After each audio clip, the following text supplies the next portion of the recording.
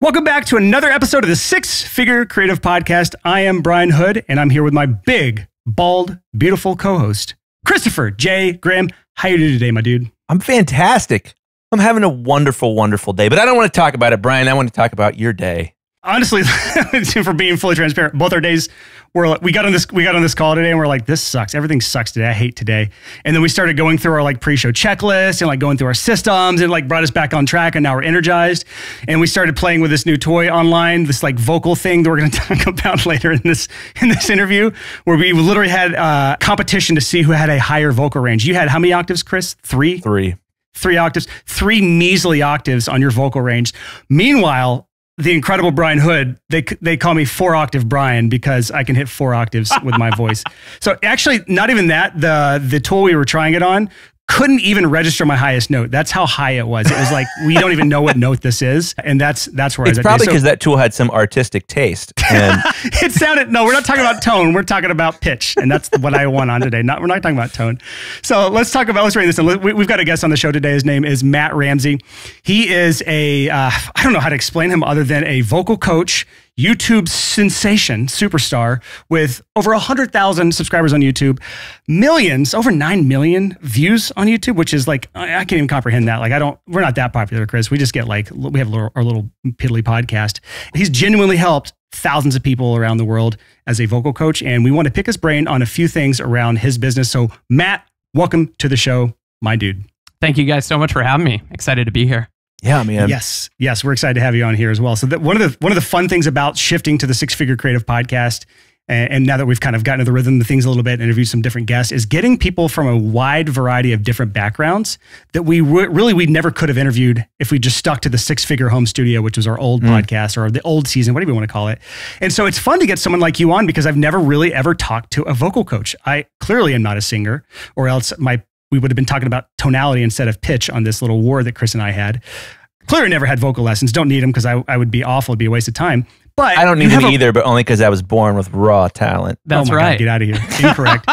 no, incorrect. No, but you have a really cool business. You have a cool business model, and we wanted to, to, to bring you on the podcast to highlight some of the cool things that you're doing on here. Yeah. Well, another thing too that I think is so interesting about this episode is because your business is so hyper focused on like cus- you are selling customer service it's hey, come hang out with me and we'll talk. Right. And I relate with that. Like I'm a I'm a business coach. That's my main my main uh, gig right now. More on that later, folks. but because you focus on customer service as a job, you're going to inherently understand things about being a creative freelance entrepreneur who provides a service to a client that other people won't have as much as you do. And I think the beautiful thing, we've talked about this before, is that there's a fellowship of creatives that creatives as a whole, we all work in these weird little niches, and it's a really spread out fellowship because creative people are creative and they come up with weird business ideas right. of like, I could teach people how to sing for a living, I could master music for a living, I could make guitar pickups for, you know, there's so many different random creative paths that you could take, but there was still a fellowship of creatives. And when you listen to another creative story about how they grew the crap out of their business, it's inspiring for us as creatives, and it also helps us learn some tips and tricks along the way. So, on that note, Matt, I'd actually like to chat about what led you to becoming a vocal coach because so many people have these creative skills, something they're great at, that they have maybe thought about monetizing, but they haven't really taken that leap of faith to do it. So, what even got you into vocal coaching in the first place? Yeah, dude, it's a crazy story. So, just a little background on me. So, I actually went to school for advertising. Uh, I went to Virginia Commonwealth University for advertising because, you know, talking to my parents, I'd always played music, but I was like talking to my parents, I was like, okay, so I want to find this career that's like going to pay me well, but where I can be creative. And so, you know, talk to my parents and my teachers, and they're like, maybe you should try this advertising thing. That might be interesting. Well, I somehow managed to do four years of advertising school and without the realization that I would absolutely hate it once I started doing. That's what good advertising does. That's right. the real, yeah, they, I was the real client there. They, yeah. they were really just selling their advertising school to me. Actually, VCU has a great advertising school, and it really taught me to to think in terms of concepts and to think in terms like it taught me to be a, a much better writer as well. Mm. So I went to school for for copywriting, graduated, had no no big plans. I actually wanted to go to graduate school for for advertising because they had this uh, graduate program there that they pretty much guaranteed that you would get a job. This was 2008, 2009. So, uh, Which was a those- great time to, great to time to be a graduate. so I ended up waiting tables for that summer in between graduation and everything. And I was waiting tables at the Jefferson Hotel. I had this this little breakfast shift that I was doing. And one of my tables, they had all of these charts and graphs and everything and, and some creative work that they were, you know, talking about. And I was like, oh, what do you guys do? And they're like, we're in advertising. And I was like, well, I don't know if you guys accept interns, but I'm your next guy. And they were from San Francisco. Long Mm. story short, we followed back up and I was very persistent. They brought me out there to be their first ever intern. And that began the three worst months of my life because it was, you know, when you're a creative person, as you guys are and as all of your listeners are, it's difficult sometimes to always be creative on demand for other people and and not get hmm. it not get to put your name on anything. You know, if you're a producer, you do get to to put your name in the credits on on the album or or whatever, or maybe you get listed, you know, on the on the Spotify information. But when you're in advertising, literally everything belongs to first it belongs to the creative director who you're reporting to, then it eventually belongs to the client. And so I was like putting in these 12 to 14 hour days and at the end of it, I was not hired, decidedly not hired by them because I was a terrible intern. My director was basically like, you know, I feel like you're this guy that likes to talk a lot about doing stuff, but I didn't actually see you do a whole lot of stuff. and What would you say you do here? exactly. It's like, uh, we're going to need you to come in on Saturday. and so it, it really got the wheels turning because I was like, okay, here's this thing that I thought that I was absolutely, absolutely going to love. And here's this guy who knows better who tells me, oh, you know what, this thing that you like talking about, you're not so good at it. And I, I really thought about like, well, why am I not? Because I'm a very self driven person. Why am I not doing this? And so that began this little period of unemployment that I had when I was living in San Francisco. And so for the first time, I was like, well, if I can do anything, what do I want to do? Like, I know what the worst case scenario is. I mean, there's way worse case scenarios than that. As a creative person, you know, being creative for other people, not feeling appreciated or validated or, or making the money that you want or whatever it is, that is, you know, for a lot of people, a worst case scenario. And so I was like, well, I've always, you know, been playing music and I've always wanted to to be a performer. And so I was like, I'm going to do that. So I started playing in the train stations and at all the coffee shops and taking every and all the open mics, every every gig that I could. And after about like an hour of playing in the train stations, my voice would be totally blown out, just like gone. And it's because I didn't really know how to use my voice correctly. And so I started asking around about a vocal coach and I got put in touch with one. Long story short, I ended up moving to Austin, Texas because I found a great voice teacher here. Now, there were so many other reasons I went into that decision, but part of it was like I found this great vocal coach here and I was like, well, at least that's settled. Like I love this guy. I'm going to I'm to do it. So, I started taking voice lessons with him and after about a year, he was like, "You know, you figured out what I was doing with all these, you know, crazy exercises. Why don't you just start teaching this?" And I was like, "No way, man. I'm going to be on a tour bus selling gold records. I'm going to be doing the whole rock and roll thing." I was like, "No, I had no no desire to teach." But I decided to just give it a try, and so I started teaching a couple of my friends for free, and I absolutely loved it. And I think that this is the crazy thing for creatives too is that you know, you can think through all these decisions, but you don't know until you actually start doing something how you really feel about it. And once I started doing it, I mean, it was like all of the creative energy that I had just really, really went into that. And I just wanted to be the best possible teacher that I could. So in the very beginning, it was about, you know, trying to figure out how to be the best possible teacher, what all of the the pedagogy and what what exercises do what and what kind of voice types people are and what songs fit people's voices. And then very quickly I started to kind of get a hang for the marketing part of it too. And that was really really transformational. That's awesome. One of the things you said really jumped out to me because Brian and I have talked a lot about the angle for this new podcast season. You know, whether we should focus on how soul sucking a bad job can be, or whether we should focus on the upside of like, do you have any idea how fun it is to own your own business and get to do whatever you want, whenever you want, and build whatever you want with whoever you want? But what I would say to to your previous intern employer that struck me that he told you, you know, it seems like you like to talk a lot, but I've never se- seen you really do anything. you want to be like, He didn't say never seen you do anything. He's like, you don't seem to be doing this a whole lot. well, what I would say to him is like, sir, what is it that you believe an advertising agency does? that's the that's the whole point of the advertising agency is to talky talky talky and not do the doey. like I'm not personally a huge fan of advertising agencies, though I probably will change my mind someday on that. Yeah. But yeah, that's that's a great story, man. well, the And I- world the world has changed so much, and, so- and we're talking we're talking about creatives and, and marketing and promotion, and the world has changed. When I went to college, it was all about okay, thinking in terms of like one single ad. You've got an image, you've got a headline, you've Yeah. got a tagline, and you've got the logo. That's the entire space with which you can create. And of course, there's radio and TV and all this other stuff. And interactive was just getting started and was becoming a big thing. But even still, like the education at that time was like very, very focused on this one thing. And now it's like, well, you guys know, you know, you have a, a fantastic website. I'm sure you guys know your your way around SEO and maybe Mm. even some paid digital advertising. It's like there's not a whole lot of spaces where you just see that one kind of generic image headline kind of ad anymore. It is fantastic to start thinking in that way in terms of like what is my service? What makes it unique? How can I position it in a way that that people will find interesting? There's so much value in that as a creative person.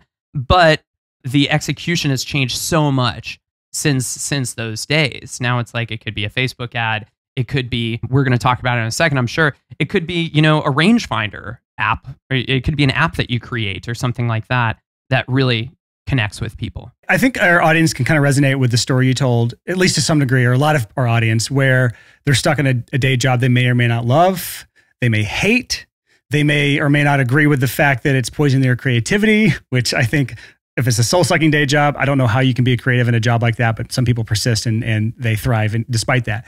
well, submission and creativity are not great bedfellows. Right. You know, Yeah. So what I want to what I want to chat about now though is you talked about the transition to you were working for some of your friends for free, teaching them vocal coaching. You mm-hmm. discovered this kind of new newfound passion for for teaching this this this skill that you have, and from there, there has to be a lot of steps, a lot of challenges to actually turning it into a full time income. Like, how did you transition from like I can dabble in this, I'll work with some friends, this is fun, I have some good a good passion on this, I'm pretty good at it. Now, how do I actually monetize this? What was that? What was that transition like to full time? Man, those that's a, such a great question. Just to touch on one thing that you mentioned earlier, that that the hatred that you feel for your soul sucking job, if you can in any way turn that into fuel that you use to pursue Mm. this new thing, that is just such an amazingly powerful thing to do. If you can it but it doesn't it doesn't mean that you can just talk about it. You actually have to start doing this. You actually have to start seeing what it's going to be like or else you could be, you know, abandoning the old you, you might in the future be like, "Oh wow, that was such a cushy job. I had a great salary and benefits. What am I doing here?" Now, which happens to a lot of people as well. Golden handcuff is what we call that. golden golden handcuffs. handcuffs imprison many, many people. Absolutely, absolutely. But to actually start to to make an income from it was very very slow at first. It, at least it seemed slow for me because I actually went back to waiting tables. Um, so I had this nice advertising internship that promised to turn into a career. And then I went right back to waiting tables, almost like completely ignoring the fact that I had a degree and all this stuff, which Mm. doesn't mean anything, of course. You know, I started teaching my friends at the same time as I was waiting tables. And it took another like four years to build up to the point and build my studio to the point that I was like, okay, I'm finally supporting myself enough from this other thing that I can completely leave this thing. And even at that point, by the way, it was still a risk. I still only had like, you know, a thousand hmm. or fifteen hundred dollars in my bank account. And I was like, well, that'll buy me like two months of rent. You know, you're doing Take- these calculations of Yeah. like, if the worst happens, how long do I have before my landlord kicks me out? dude. Yeah, taking off those golden handcuffs, man, it feels so wristy when you're doing it. That's that's a pun for those who are as mad at Chris as I am. He's our pun our pun daddy here. I've been working on that for like four minutes. Oh, God. I'm going to cut off our guest to insert myself into this pun uh, opportunity here. That's that's Chris. All right, so let's let's talk about this. You said it was a, it was four years of of struggle, pain. Like, what were some of the things that you learned in that four year period of transitioning from this is essentially a hobby that I'm doing for friends because I'm doing it for free, Yeah. to getting my first client or clients to actually scaling it up to full time? What were the things that that helped you in that transition? Yeah. So at first I did something really stupid, which was that I I actually contacted, I'm not going to say the name of the service, but I contacted a digital coupon service and said, hey, you know, I'm a vocal coach. I would love to put together some sort of a package where people can buy my services and we can come up with some sort of a deal. And they're like, great. Well, okay, so you're charging, you know, let's, I think at that time I was like $40 an hour or something. They're like, great. Okay, what we need to do is we make a deal where you charge $15 an hour and we, we sell these packages up for up to like three months or something like that. It was incredible. It was an incredible deal. And thank you to all the people that took lessons with me at that point. So I sold, I think there were like 200 of them sold. So all of a sudden I had like 200 students and I was making like this, like less or the same amount of money that I was at my waiting tables job. But I'll tell you something, you get really, really good at your job really quickly uh, with that level of volume. So I think that if I'm, if I can consider myself a quality coach, it's probably those early those early days where I was teaching a ton of people for next to nothing. And it was, they were some of the, the most fun people because you got all these folks that had no desire to be a singer whatsoever. And they're like, well, that's fun. I see that. I've got my credit card right here. Why not? So that was an early mistake. That was a big mistake. Would you Um, call it a group C? I, yeah. Yeah, exactly. Almost like a coupon for groups. And the word oopsie combined into one word. Yeah. Oh groupsy. C. God, Chris, that's the worst one you've ever had. And with a guest, too. It's one thing when it's just me and you, Chris, and you can do a pun and I can cut it out later, but we have a guest here and you just killed his vice. He's like, I'm never coming on this. I'm never For like friggin- four people, that was the best part of the podcast we've had yet. So it's right, okay with me. And everyone else cut it off. So let's let's get back on track here with with our uh, wonderful Tell us guest, your Matt. thoughts at sixfigurecreative.com. yeah, no, no. So, so that was an early mistake. But then what was really, really, I think, a big thing for me, and, and I know that this is this is going to sound really obvious, but SEO. SEO is a huge, huge deal for my business. And I actually had a couple of students that were like, they had a, a background in marketing and they were like, hey, you know, let me start working on some SEO for you. We'll trade for lessons. And that was one of the best decisions that I ever made. And, Mm. you know, if there's if there's something that you can take from this, certainly with a with a service like voice lessons or even production or mixing or recording studios, you know, having good search engine optimization so that as soon as someone searches, you know, mixing studio Austin or voice lessons Austin, singing lessons Austin, that you're the first thing that pops up or you're at least quite high. That was an absolute turning point, night and day for my business. And I regret all of the time that I spent chasing down. I mean, I did the Facebook ads thing. It was like nothing was panning out, but SEO was the first really big money move uh, that I made for my business. So let's talk about the SEO thing because I, I, I, I you have a large YouTube presence, and that seems to be a very large factor to your success as well. So the, the whole content marketing thing, that's the kind of the direction I had in my mind for this interview in my notes here. Sure. But I wasn't aware that SEO was such a large driver in in your uh, business. And I'm sure, I mean, a lot of these things go hand in hand because Google's the second biggest search engine in the world. I'm sorry, YouTube is the second biggest search engine in the world. And then first is obviously Google. But what were some of those early things that you were doing in SEO to help get your business have that, you know, get the night and day difference in your marketing efforts? Sure, sure, sure. Well, just to touch on what you said, the YouTube thing is big now, but there's also like six plus years of work that went into growing that to where it is. And now it's kind of just, you know, self fulfilling thing where You it's mean just, you weren't just an overnight YouTube sensation? you know, I, I look at other creators like Rick Beato and I'm like, Yeah. his, his first video ever has like over a million views. And like, I, that's like the only person that I know of that like he did the YouTube thing and it was like immediate. And, you know, I don't have a child with perfect pitch, which I don't know if you guys have seen the video, but his Oh, son oh, oh Dylan. oh, yes. his son I Dylan I- has my perfect kids are about the same age as his kids. Yes. When that video came out, and I was And like, your kids can do the mm. same thing, right? Oh, of course they Totally. can. Results not typical. so Rick is is an inspiration to us all, but also you got to look at how much he posts and the, the quality of his posts Yeah, it's are very just high. insane. But to go back to the SEO thing, so you know, having an expert there who has a history and a background in doing some of the really kind of nitpicky plugin oriented stuff because I use a WordPress site. Other people who are listening to this use Wix or Squarespace, what have you.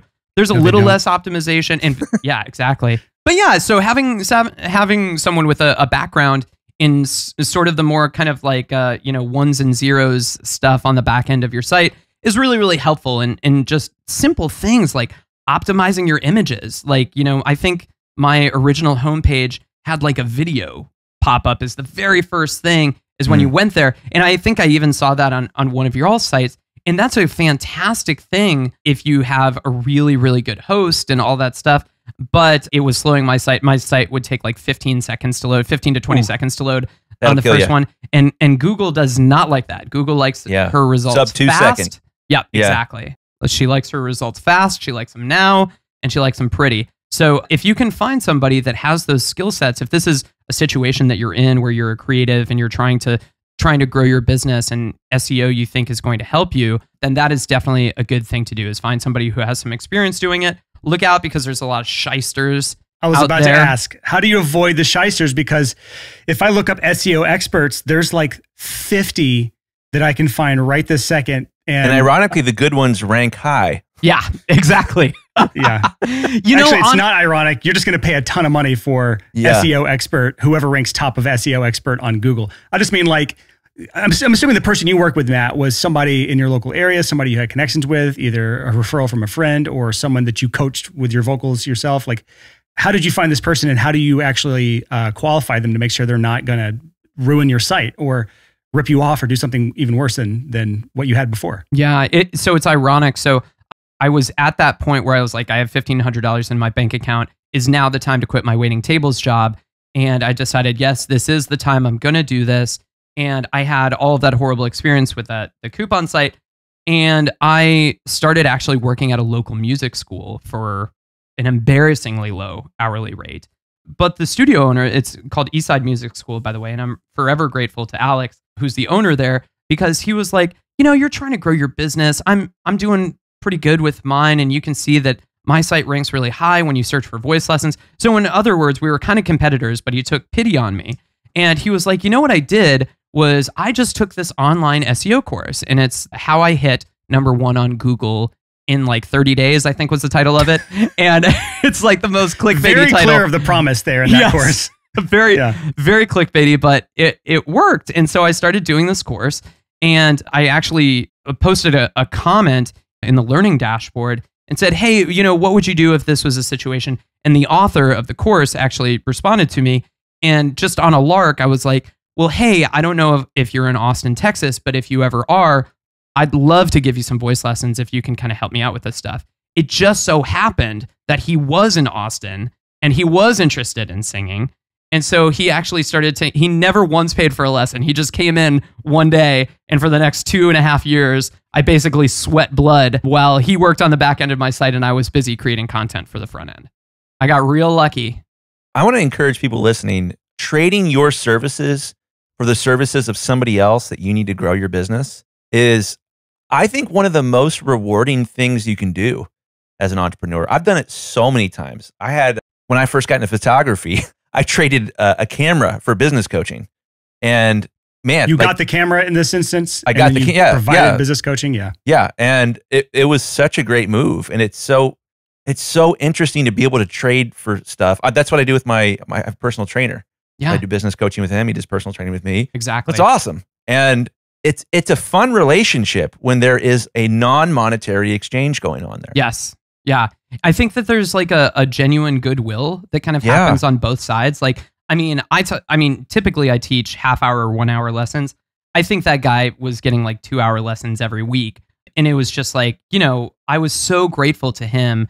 And I think that he was grateful to me for the help there. But one thing that that you said that I think is really interesting is that in the beginning, when you're first getting started off, you really don't have that many bargaining chips, you know, and you Mm. don't you don't have the the income necessarily to be like, okay, so I'm going to pay the six thousand dollars or whatever it is in order to to get training with this person. So there's kind of an interesting shift that happens, you know, however x x number of years down the road where you're finally making an income and you're like, I'll just pay the darn money. Like I'll just pay. it. It's Yeah. like I, I need the help. these guys are the people to do it. I'm actually going through that uh, right now. I'm finishing up one coaching program that was exorbitantly expensive from my perspective, but it was a, a huge transformation in my own business.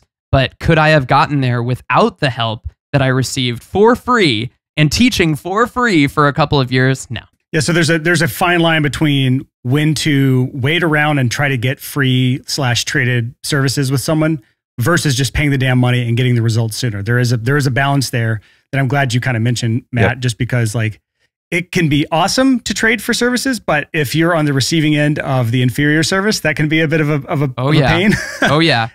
but you know, in your in your instance where you got free SEO services that essentially, in your own words, changed the trajectory of your business, totally worth it to do two hour lessons a week for somebody for a, for that long of a time because it's essentially made your business.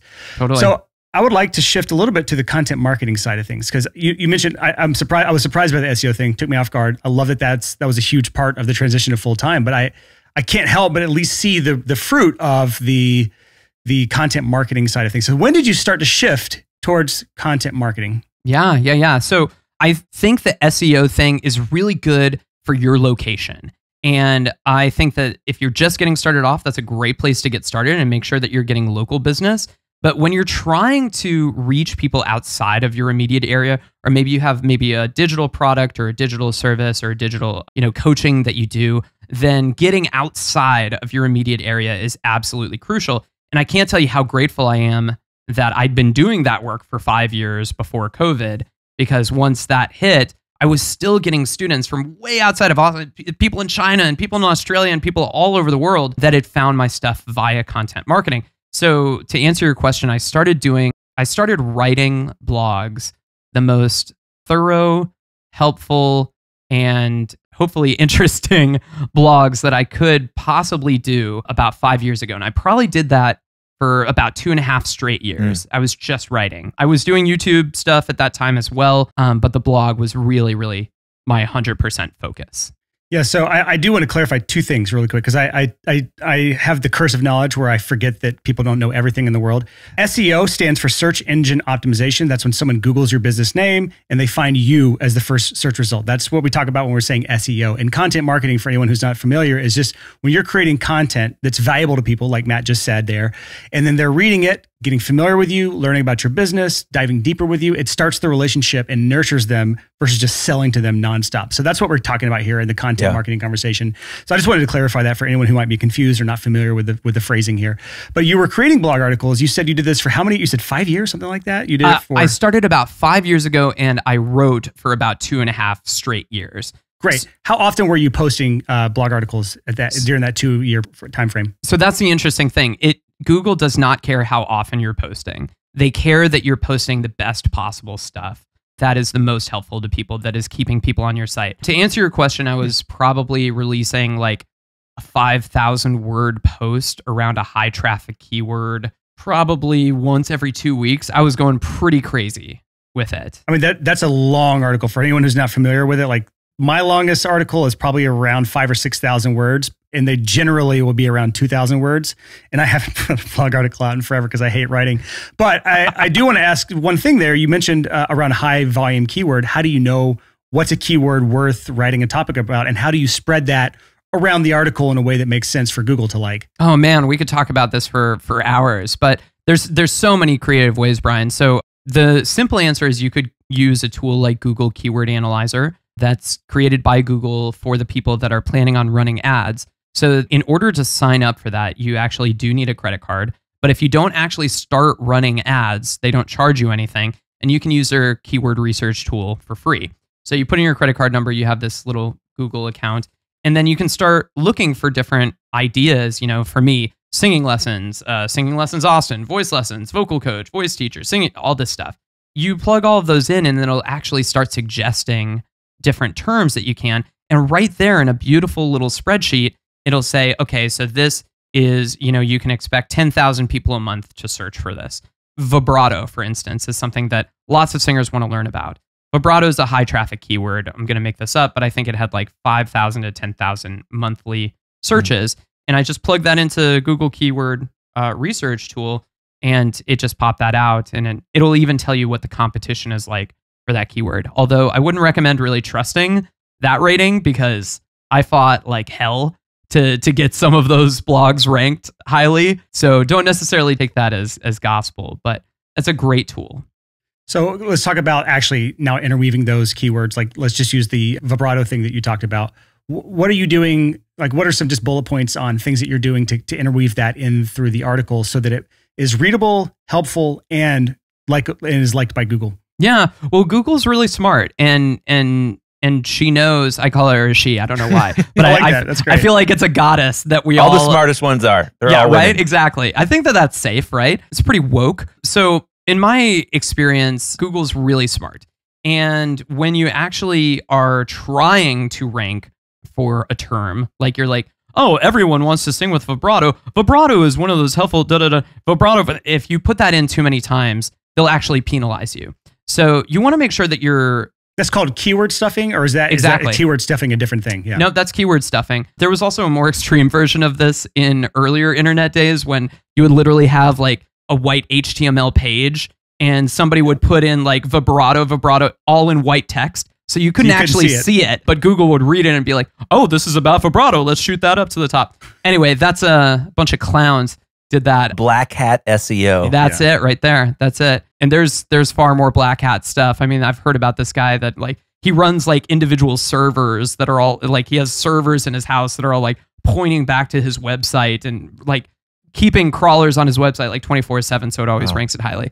That's too nerdy for creatives like me, man. it's I can't. crazy. It's crazy. Now, I'm not going to say it was easy. It definitely wasn't. It took a lot of work. But all I could say to answer your question is just write the most helpful, natural article that you possibly can around this given subject matter. Make sure that it's the best. Look at the other ones that are ranking highly for it and make sure that yours is better. Make sure that yours is more helpful. And it doesn't have to be longer. It just has to keep people engaged and on the page for longer. Do you trust any tools that give you like SEO scores? Tools like uh, what's the, the big one on WordPress? I have it. Oh, but I S- remember. SEMrush. Yep. SEMrush is a big one, and there's one other one that has a weirder name, but I can't remember it. Yoast or something like that. Yoast, yeah.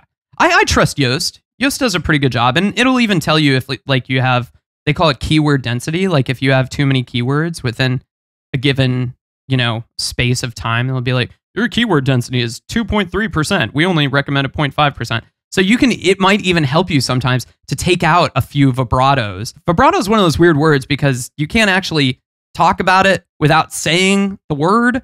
So like I probably have a bad Yoast score on that one. But for other things It's tough like, to be pitch perfect on on vibrato. yeah, it is. It is definitely. Comment. Just shake. He's shaking his head. Everybody. Keep going, Chris. What else you I got? like the I like the dead silence. The worst part about this, I, I, I, I've said this a million times on the podcast before, but the look Chris has on his face as he's trying to interrupt the guest to fit Pure his stupid pun in, and then finding a gap in Matt's wonderful education to to just force the pun in, and then the look on Matt's face of trying to be polite ah. is priceless. He's working on his on his tight five. Well, you know? I- there you go. I did have a question related to this, so I, I wanted to build up to this. Matt, I'm wondering. So, from my perspective, Matt's now laughing at you because he can't. I'm already bracing. Are you going to throw another pun in, or is this a real question? I, I feel my my back getting tight. Just worried.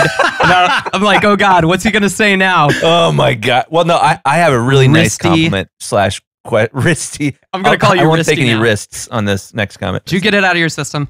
No. Um, Okay. But I'll keep going anyways. So, Matt, here's my question for you. From my perspective, and I think Brian's going to agree with me wholeheartedly here, you know all the things, and I'm wondering how much more valuable that skill is than than what you're actually selling as a as a coach. Oh wow, that's such a good question. So to be honest with you, I have at different times been so I think what you're alluding to is like why don't I just like become like a, a digital marketer or something Yeah, like, like or, me. or, or start going into that niche. It, but to be totally honest, and I really do, I admire the people that know what they're talking about in that niche. But it's so darn competitive that it's like actually vocal coaching is very competitive too. There's a lot Mm. of really, really great channels and good good blogs out there. But I kind of wanted to just really plant my flag in the whole singing thing and really feel like that's really wrapped up and you know I've got my courses and I've got you know my apps and all Yeah. this you know my ebooks and all that stuff So I really wanted to feel like that was going to wrapped up before I I transitioned to something that was like a little more uh, B2B, like business to business. But I think it's invaluable to know this no matter what profession you're doing. Totally agreed. And that's really the point of, of our podcast is to teach these things that people can can use to grow their smaller businesses. But I think what gets interesting, and we've seen this with many of our listeners, is they develop these business skills. Brian and I did that. We developed our business skills and then realized that our business skills were more valuable than our business. Right. And it was like, oh crap. That's so cool, but also not what I wanted to do. Well, you just do like me and just run a million businesses at the same time, which Yeah. Right. also has its own flaws. That's same. So I want to get us back on track here with the SEO discussion and the content marketing discussion here. Yeah, we haven't even uh, talked about YouTube yet. That's a whole other ball of wax. I'm working my way up to it, Matt, but you have too much damn good content to share along the way. So this is going to run like a longer episode. My bad. Aw, thanks, guys. So I, I, before we actually get to the YouTube side of things, I just want to point out uh, one important thing: how how much SEO is tied into your content marketing strategy, at least with the blog articles. I'm assuming the same thing with YouTube. Mm. We'll get to that, but SEO, search engine optimization, and content marketing go hand in hand with each other. So when you're creating content, if you can, it is helpful to keep it around specific keywords and topics so that you're not just getting that initial burst of traffic when you release, release a new po- uh, piece of content. You're getting what they call the long tail, the traffic from Google over the long period of time of people finding your website through searching for certain things that they're trying to learn about or trying to look up and finding your website. And then ultimately, hopefully, hiring Matt for his vocal, vocal coaching services. So can you talk about some of the some of the results you found as you built your your uh, blog catalog through the years? What that led to? Yeah, listen, I mean, anytime that you can connect with people on a human level and and try to help them before they even give you a dollar, you're usually in a really good place. Blogs certainly, but YouTube as well, and maybe we can segue into this, but it's like think about how valuable it is like if you're like searching for like, you know, a new tire, you need a new tire or something like that and you, you try to fix it yourself and you're like doing terribly and you can't even take the the wheel off. And so you just YouTube a video and then you're like, "Oh, how to change a tire." And so you find the video helpful and then you just see that it happens to be at like a shop around you or a national chain or something like that. How much more likely are you to go to that chain versus some other generic chain that's never helped you in the least? No, you trust that you trust that original brand that helped you out when you weren't when they and they didn't ask for anything. And so, in terms of results, certainly from the SEO stuff and a search engine viewpoint, it absolutely revolutionized how many singers I was getting each week to my studio. And on top of that, it also absolutely made a huge difference in how many people all over the world were finding my website and could potentially one day book a lesson with me. Because now, you know, everything's online and I'm teaching online. And, you know, I could tomorrow, if I decided to, just say, I don't want to teach in person lessons anymore. I'm just going to do everything virtually and I'm going to live in Wyoming. It'd be fine. That big love to Wyoming, by the way. Beautiful state, beautiful state. You know, John not- Mayer lives there. does he really? See, I didn't even know that. I don't think we needed to know that, Chris. Well, well, thank you, Chris. yeah, thanks, Chris. No Adding problem. value. but you could you could do that and having that flexibility as an entrepreneur is like absolutely priceless. I mean, I love living in Austin, Texas and it happens to be a music city, which all plays in my favor as well, but it's so cool to be able to have a product or service that is finding people all over the world regardless of where you are. But the first step is getting your local people first. So you were putting blog articles out consistently for a couple years. Yeah. You were ranking for certain high traffic keywords, which is driving traffic to your website. At that time, were you smart enough to have some sort of lead magnet or something to, to build a mailing list yet? Or had, did you not start doing that until you had a YouTube channel? Where did the mailing actually- list come into play? I actually had a lead magnet and all of the pop ups and all that stuff before I actually started getting more traffic.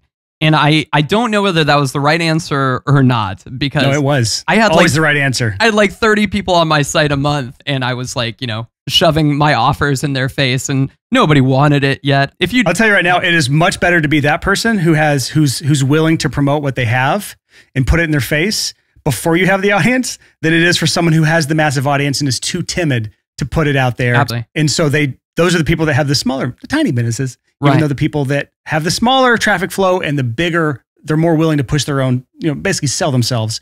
They typically always have the bigger business. So, at, at what point Well- did you start to see the email list grow? No, Chris, you had something. Go for it. Okay, yeah. So what Brian what Brian said there about putting yourself out there with your business, there's a caveat there. I run into this all the time with people that are like, "Oh, I don't want I want my business to grow, but I don't want to tell anyone about my business." Mm, yeah. And I think for a lot of people, yeah, you can put yourself out there and talk about yourself and be a self promoter and all that stuff. But what you can do as well is you can create value that is a lead magnet. And I think this is a great place to segue back to your website. You have a vocal coaching website. And when you go on the vocal coaching website, ramseyvoice.com, at the very top of that, there's a question that says, It's very insulting. And we could talk about this too, but it's like, do you want to do you want to find your vocal range and stop sounding like an idiot? Now, I tested that headline with like five other very much much nicer variations, and the idiot one just really converted way better. Yeah, just for anyone who's not familiar with what he's talking about, so on his website, he has a, a awesome tool that you can sing into it your lowest note and your highest note, and it tells you what range you should be in, and like it helps you kind of pick your range so you're not singing in a range that makes you sound stupid. And so in the copy of the lead magnet, he's and, and the smart thing is he asks for your email before it gives you the results.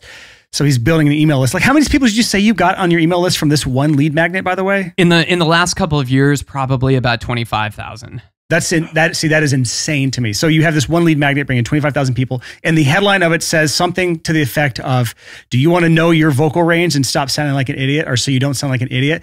These sorts of things, like most people will never even test, but these polarizing sort of headlines are the ones that actually work really well. And you split tested this, which means you've tested yeah. it against a nice kind, get your vocal range now, like super generic copy, and this one beat it out. I tested that against what I would even consider like really interesting value proposition kind of statements. Like, do you want to find your vocal range so you can find the right song for your voice? Or do you want like, do you want to find what your voice type is, like bass, baritone, tenor, or something like that?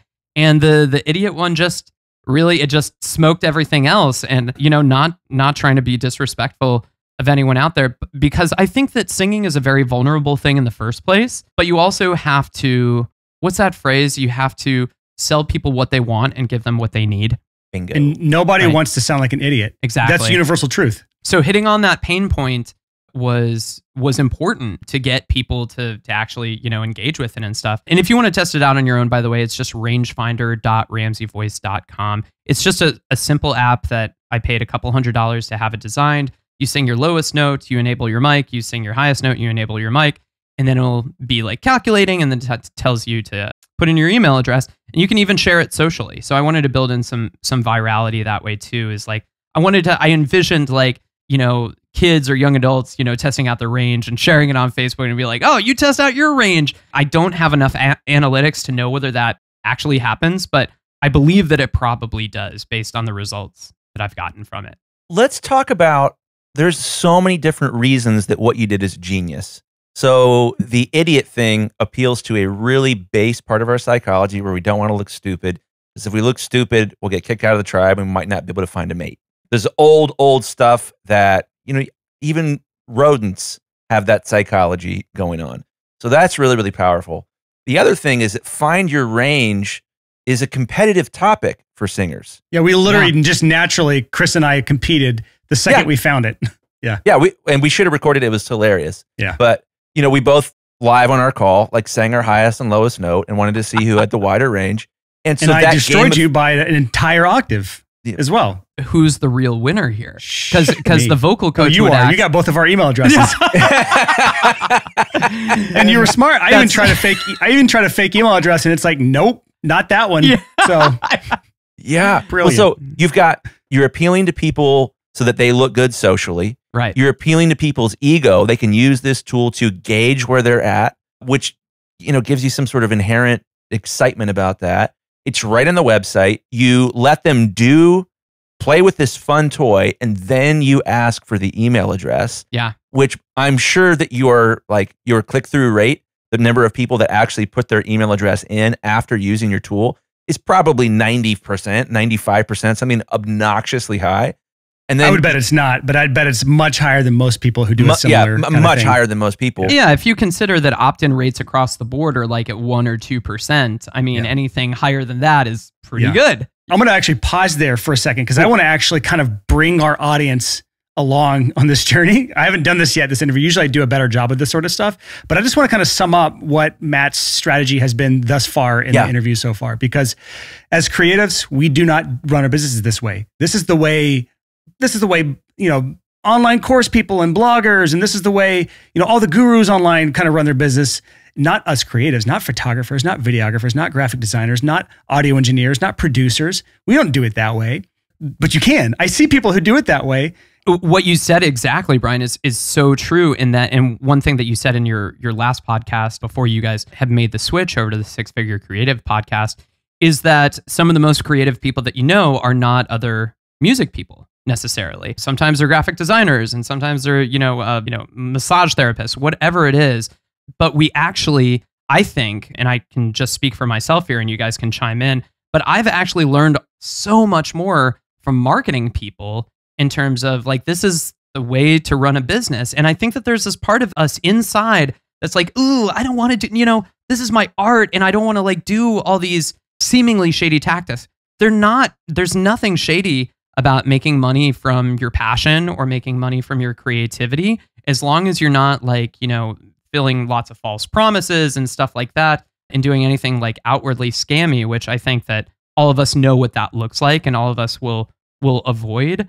But there's so many people that are just afraid to even put together you know like a free course to add on their site or something like that. That's something that you know those digital marketer guys that i always skip their facebook ads do there's a reason that those guys do those ads there's a reason that those guys have those free courses uh, because they work So Matt's strategy so far, just kind of sum it up so that I'm hoping all creatives can kind of follow along with this. Matt has a service that he offers, which is vocal coaching, no different than pretty much any other creative service. You are helping someone through a transformation. If it's a if you're a music producer, you're helping someone take a song idea and turn it to a full production. If you're a photographer, you're taking someone's look and making them look awesome. You're making your people look awesome. If you're a if you're a designer, you're going someone with just an idea and helping them actually flesh it out on paper. So you have a transformational outcome you're giving your client, which is what Matt is doing. And then he is like, okay, I have this thing that I'm good at that I love to do. How am I going to actually get people to find me? How am I going to fill the top of the, the funnel, as we like, like to call it on here with, with your marketing funnels? And so he's he invests in SEO by giving free services to somebody, someone who can help him show up on Google on the top results. And then he also invests time, effort, and energy writing blog articles that are high quality, 5,000 word posts that have, he's done the work in putting research into the keywords so that you're actually writing stuff that's going to be found. It's long and, and interesting and helpful, which is the most important thing because these blog articles are mini services. You're helping someone with a transformational outcome on every single article that they read that Matt puts out. So he's genuinely helping somebody on these articles, which is building something called the reciprocity effect. The reciprocity effect is when you do something for me, I inherently want to do something for you that could be hiring you. So if some people, these people are hiring Matt. Some are just joining his mailing list and following along the journey, and eventually maybe hiring him. I, I would, I would bet a thousand dollars right now that there's somebody on Matt's mailing list that has recently hired him or bought something from him that joined years ago and didn't pay a dime until recently. Like that is the stuff that happens when you build a mailing list. And so all along the way, he is smartly building his mailing list. And I don't know what he's doing the mailing list yet. Maybe we'll get to it. Maybe we won't. But he's using that mailing list to build his business further. So he has SEO. He has helpful blog articles that are building uh, the relationship with with the uh, potential clients. He has a mailing list that is capturing the leads long term, so he can market them long term, and he has a transformational outcome that he's providing. And these things alone are enough to build a significant business. And from what I know, it's over six figures. We don't have to get into the specifics of the income, but it's a significant income.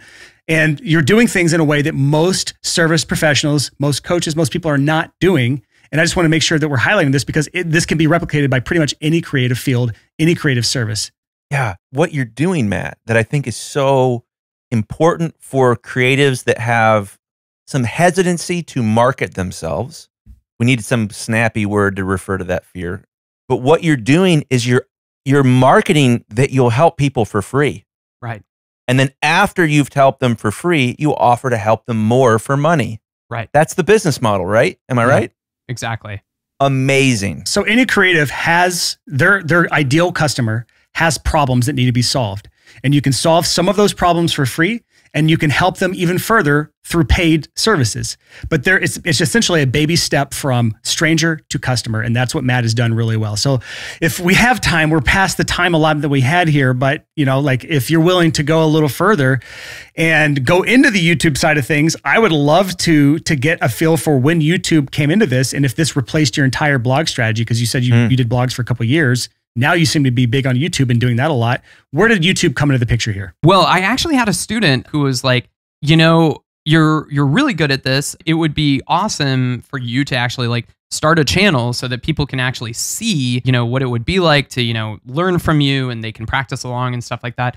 And I really, really appreciated uh, that insight because up until then I was kind of like, oh, you know, you just have to come in person. Well, if again, if any, if there's any way for people to connect with you on a personal level before they spend a single dollar with you, they're so much more likely to become a loyal mm. customer. And so even in those early days, I mean, I had a terrible camera, I had terrible sound. I was actually operating under a different business name. My original voice teacher was Octave Higher, and he was like, hey, you can use the name Octave Higher East.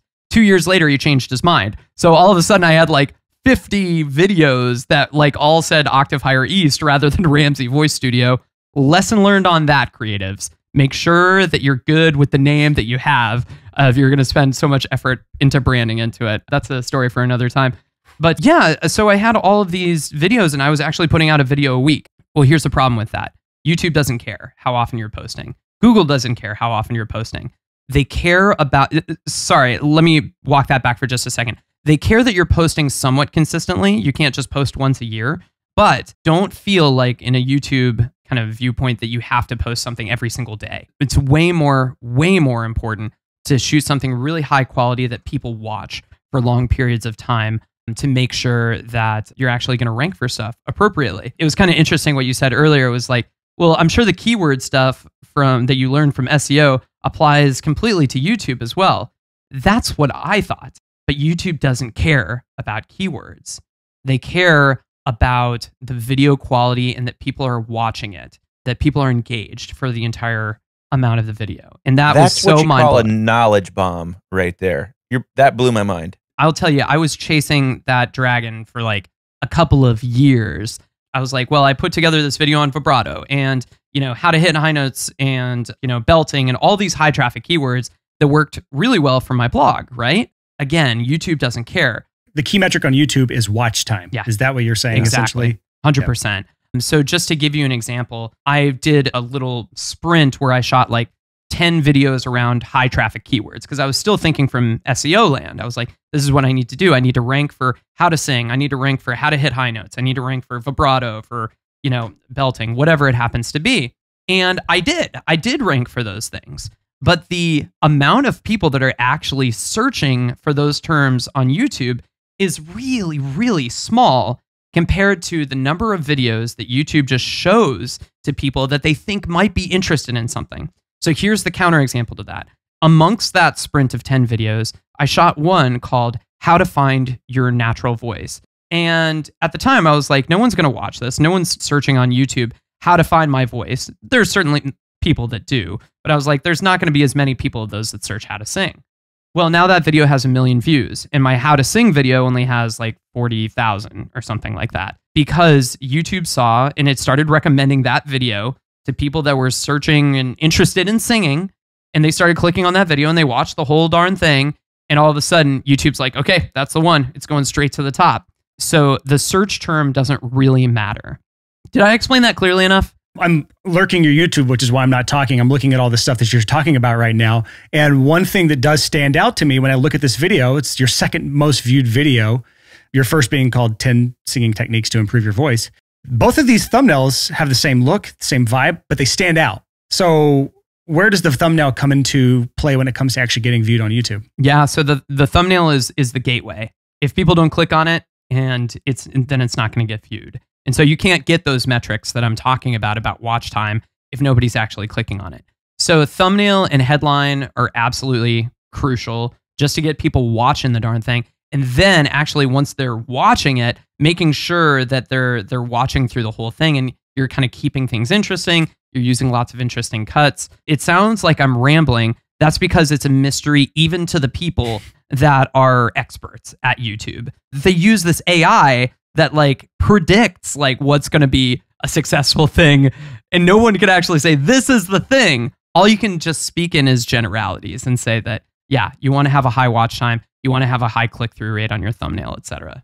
So with that, YouTube gives you pretty good analytics though to give you an idea Yeah. of where your new viewers and subscribers are coming from. Is that correct? Do you have a pretty good grasp on the gist of like are they coming from search search results? Are they coming from recommended videos? Are they where is your viewership coming from for the most part? Yeah, that was kind of my point from earlier is like search is like the bottom. Like nobody nobody really cares about search. Like there's just not that many people that are are doing it. So if you just try an experiment, this is something that your listeners can do too. If you just go to youtube.com and let's say that you hadn't you had a specific thing that you wanted to search for. By the time you actually go to the homepage on youtube.com, you've totally forgotten about what that thing that you were going to search for was. And by then, you've clicked on one of the things that YouTube gave you on your homepage. Mm. That's what you really want. You really All want the time. I even have a plugin on my computer that blocks those videos. Oh, that's so I don't smart. Get distracted. Yeah. So like you you actually really the golden the the holy grail is hitting that recommended videos. So if you actually looked at the analytics for that find your voice video, I would say like maybe 10 or 15% of the people that find that are just searching for it, which is there's nothing to sneeze at there. It's still 100,000, 150,000 views. So it's, it's not, it's no small amount for sure. Yeah, exactly. Yeah, yeah, yeah. Out of a million for sure. But really quickly, once you have a video that starts to hit, you'll see that proportion shift. At, at first, it'll be like Hmm. people are seeing it because they're subscribed to you. And then you'll actually, and maybe some search, and then you'll see it start to go to suggested. And once it hits suggested, like 80% of people are you finding finding you through suggested, you've got to hit pretty much. You- And I've only hit that like two or three times out of 200 videos. So just to show you my track record. well, that's what actually leads to the next point that I think is probably where we'll kind of wrap this conversation up, just for the sake of time, is is consistency. You so you said something that uh, caught my ear, and I think you you meant it but didn't mean it. Was YouTube doesn't care how often you post, but they do care that you are consistent in some way, shape, or form, or at the very least. People care that you're consistent because the more consistent you are, the better you are. I want to talk about Mm. content. How do you actually plan out content so that you always have fresh ideas? You're never running out. You don't have to scramble week to week, or maybe you are scrambling week to week. I don't know. I don't know you very well. what's your What's your strategy around planning content? wow, there is a plan and sometimes there isn't a plan. So I, like I mentioned earlier, you know, I can plan to shoot like 10 videos around these high traffic keywords that I think are going to do well. And maybe only one of them does well. And maybe it's not the one that I thought was going to do well. And so what I've actually kind of pivoted towards is doing videos that I think people will find interesting. Rather than trying to write a video or write a script for the bots like I'm kind of doing with Google let's be honest. On youtube i'm trying to make it interesting as interesting as possible for the people um, that are actually interested in singing. Maybe they're not even subscribers of my channel but i want to make it so that as soon as they see that thumbnail or what have you uh, that they click on it I think the way you could explain that is to say that Google's search algorithm is predictive. They're looking at signals to decide whether, you know, it's primarily predictive. I think YouTube's algorithm is primarily reactive. They want to see how human beings will react to the video. And they can very easily see, like, well, did they click on it and then finish the video? What percentage of people that clicked on the video finished the video? What percentage of people clicked on the video? These are really simple metrics to give YouTube a loud and clear signal that, oh my gosh, we showed this thumbnail to 100 people, 100 people clicked it, and 100 people finished it. here's the way that you can really generalize about it Google wants to give you an answer as soon as possible. YouTube wants to keep you watching videos for the rest of your life. That's so true. It never wants you to leave. Wow. Once you get trapped, they want you to stay in there, which is why we can go down YouTube rabbit holes for five or six hours. And I make this comparison with singing coaches all the time is like, you know, people will just search one thing related to singing. Before they know it, they've watched 10 videos, 10 different teachers. They're so confused, which is why it's such a great idea to get personal feedback from a real vocal coach. Something that I sell through my my programs and my own personal coaching, of course. But Google is actually trying to trying to help you, trying to get you some real answers right now because that's what you need. You need to, you've got the nail in the tire. Okay, let's get you to a tire shop. If I like start searching nail and tire on YouTube, pretty soon I'm going to be watching uh what is it? Uh Chris I- Fix That's the Yes. YouTube channel that you're going to find that's the most Chris- popular for that topic. Is that your own YouTube channel, Chris? No, it's not. It's a, a Oh. different guy, but he's fantastic, and he taught me how to fix my Jeep before I broke my Jeep. He's without a doubt the number one guy for automotive. Look at that. See? Boom. There you are. And and you're three you're three videos in and you're just like an hour's gone by, you're sweating in the car, you still got the nail in the tire and you're like, "How am I going to get home?" Yeah. and somehow I'm now watching Everest videos of somebody summoning Everest, and I want to climb a mountain. I don't know why. I don't even do this. That's that's. It it feels like a, when I'm on Facebook. It's like when you have millions or billions of dollars of of venture capitalist funds sunk into a piece of software whose job is to keep you on the platform as long as possible. You will wake up an hour later, not realizing what just happened. You're just an hour later in the day. You haven't been productive at all, which is why I have that plugin that blocks Google recommended videos on YouTube. What's YouTube. the documentary about this? They got so popular. The Social Dilemma. The social dilemma. Yeah. if you guys haven't watched that on Netflix, it's worth your time. But just to bring it back to your to your listeners for a second, like I know all this sounds really like kind of high level and it's like, "Oh, how how am I supposed to do that? You know, what's what would be interesting for my audience and like how do I get my titles and thumbnails and stuff like that?" If you're just getting started off, just start off by trying to be helpful. Just try to shoot really uh, as good of production as you can, high production quality videos that are just helping people solve their problems. So if you're a graphic designer, then maybe you can do some screen grabs of how you, you know, eliminate red eye. I'm making this up as I go.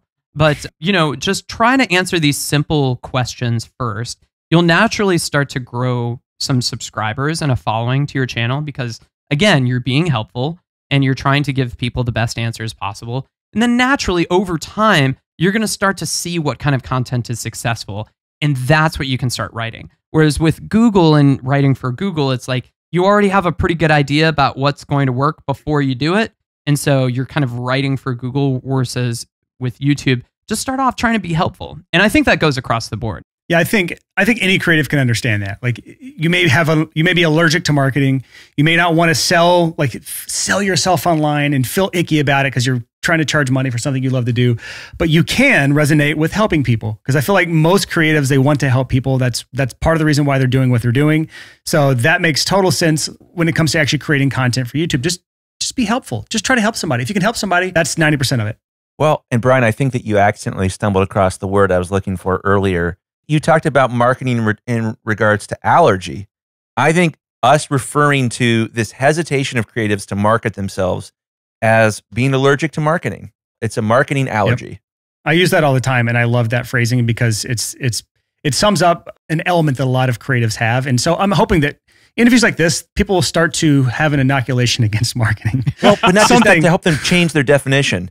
Say marketing isn't isn't pitching yourself. Marketing is helping people, and then you don't true. have to pitch yourself. Yeah. Right. Yeah, I mean, up? what, what- Literally, Brian and I are doing this right now to you. I was. I was about to say, what do you think this podcast episode is? This is a form of content marketing. yeah. And we're hoping that we've genuinely helped people. So, Matt, I think a good place to end here would just to kind of be pe- tell people where can they go if they want to find out more about you or take your vocal thing, or just where do you want to send our audience for for your services or for what you're doing? Yeah, for sure. I think I think a good place to start is just going to my homepage at ramseyvoice.com. That's R A M S E Y voice spelled the normal way. Right there, there's a, a place to put in your email address and get a 10 free singing techniques to improve your voice. Get sent right to your to your inbox. No, you forgot to, to improve your voice so you don't sound like an idiot. That's right. Yeah.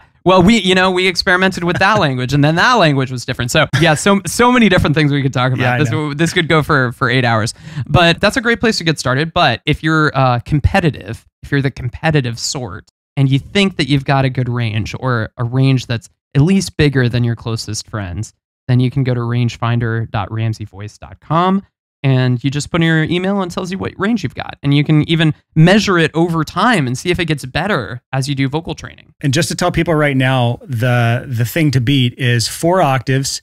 I'm pulling up my screenshot here from F2 to A6. Nice. That's my vocal range. Nice. Yikes.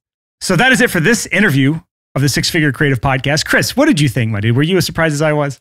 I was. Matt is the total package. He there was so much stuff where I was like, he started to talk about like the keyword finder and Google AdWords and all this like Yeah. really nuancy stuff. And I, it was amazing to be like, whoa, he did the work. He knows about all this random stuff. He must be as like traumatized as I am to have Not everyone uses knowledge, learning, and systems as a coping mechanism. That's I true. think Matt. I think Matt was just trying to build a, a good long-term sustainable business. Well, so like he, we came on, we got him on the podcast because I was like, oh, he's got a large YouTube presence, and I think content marketing is an important strategy as we move forward as creatives, just because it is a way to add value. And with so many creatives is allergic to marketing, uh, kind of like we talked about earlier, I think content marketing is a really good. I guess I don't know what we are going to call that, but it's a really good thing to combat allergy because all you're doing is helping people. Yeah. And so I, I wanted to bring him on for that. And what we got out of him was completely unexpected because we didn't even get to the YouTube stuff till the very end here. So we, we had so much that he, he brought to the table with SEO and with trading services. And I just think that it was cool to hear his creative journey and how unique it was compared to, you know, Alex Vasula that we had on the podcast, you know, a few episodes back where she was actually doing this through all through Fiverr. Like her journey was completely different, but similar results as far as monetary income and success, like completely different paths, but a similar result. I just love that that that's an option. Yeah. It's like not only do some of the things that we do as creatives not exist 10 years ago as a career option, but the the paths to success are as various as the options we have to do as for money. Like I, I worded that ter- terribly, but you know what I'm trying to say. Like Yeah. our paths are endless, and so hearing his path to success is so cool to hear. Well, and that's such a great proof for us that our concept for this podcast is so valid that if you have a creative business and you're offering a service and you want to grow your business, you need to learn from creatives outside of your niche. the whole interview I'm thinking through. So I have this like I have this weird thing I do when I'm listening to guests. I always try to put myself in the shoe of the guest listening to the podcast, which is why I kind of went back eventually and described what SEO meant and what content marketing meant. Yeah, that was amazing. Because I want to make sure like people are following along. And if someone says something that doesn't make sense from me as the listener's viewpoint, I want to try to either dig in more or point that out or try to or try to translate it into something that makes sense. But everything that he said makes sense from my perspective as you know audio engineer from the perspective of other avatars that i have in my head as i'm listening creatives that are in like other fields like photography videography graphic design freelance writing. A lot of what matt does is one-to-one applicable. You're just all you're doing is writing about different kinds of content creating different kinds of content on youtube and you would have different lead magnets essentially is what he's doing on your website. That's literally it. You, you just change some of the things out but the template really matches for any creative service Well, and what makes this conversation with Matt so relevant is that in your creative niche, you know, let's say you're photographing babies, like you're a baby portrait photographer, there might not be anyone like Matt who's doing such a great job at content marketing. There's no one Yeah. to look at and say, okay, well, I want to be like them. It's so much more powerful to be, I want to be like the Matt of baby photography. Yeah, so he mentioned about how how competitive it is in the general like marketing space. Like in the grand scheme of things, I don't think Matt would argue with me. He wouldn't be a big fish in the overall like marketing pond if he were to go head to head against the best marketers. But in the vocal coaching world, he could stand toe to toe with some of the top people in the world. Yeah. And so think about that from our perspective as creatives. Like we're in our own little worlds and our own little niches. And we can take things that we learn from people like Matt, people like Alex, people like, you know, any of our guests that we have on the podcast, and people like us, me and Chris, who have our own unique journeys. You can take those things and apply it to your own little pond, I guess you could say. Not the big the big red ocean, but the little blue pond.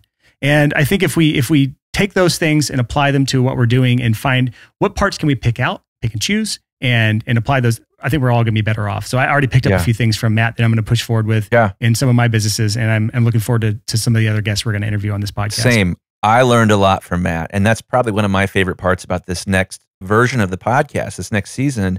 I'm learning way faster than I did last time. Yeah, we don't because we were like two two wet sticks coming together and turning to mush when we got on the podcast. Two wet sticks coming together and turning to mush. What? It's like the iron sharpens iron thing. Like we were not sharpening each other on the podcast. We Oh were just my- dumbing each you- other down. Are you on drugs? Clearly not, Chris. we were definitely not getting any smarter with it just being me and you on the podcast every Apparently. week. Apparently. Well, we just got a lot dumber. And it feels good for me to be able to make fun of you a little bit in this episode. Yep. So And now we're getting smarter, gradually, gradually smarter. So amazing. stay tuned for next week, bright and early, 6 a.m. Tuesday morning for our next episode of the Six Figure Creative Podcast.